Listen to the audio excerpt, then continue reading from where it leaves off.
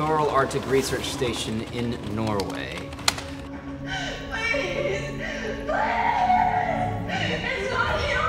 So after this SOS went out, nobody has been able to get in touch with them. The government put the whole place under quarantine until the DEO could investigate. Episode 206 is called Changing, directed by a friend of Supergirl's, Larry Teng, who has done some of our favorite episodes uh, over the couple seasons that we've been on. The organism seems to be absorbing my red blood cells, rewriting my DNA into something new. We're not two distinct beings any longer.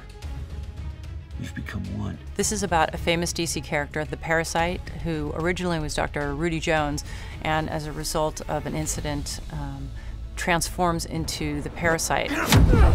The second he touched me, he got more powerful. The more he absorbs, the more dangerous he is. The Parasite absorbs someone else's energy and, and uses it to take down his adversaries. It's especially powerful when that adversary is Supergirl. Oh! There she is! Maybe there's some truth to what you said about me. In the last episode, Alex Danvers realized that she was struggling with uh, a secret and came out to Maggie Sawyer. Tell your family. This is the biggest thing that's ever happened to you, and you shouldn't have to do it alone. In this episode, she has the opportunity to come out to Kara. Alex, whatever it is, you can tell me.